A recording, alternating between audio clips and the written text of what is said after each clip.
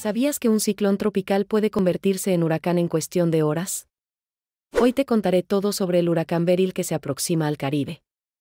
Comenzó como un simple ciclón tropical. Pero, en muy poco tiempo, alcanzó la categoría 1. Los vientos son ahora de más de 120 km por hora. Beryl se dirige rápidamente hacia el Caribe. Las autoridades están en alerta máxima. Se esperan lluvias intensas y fuertes vientos.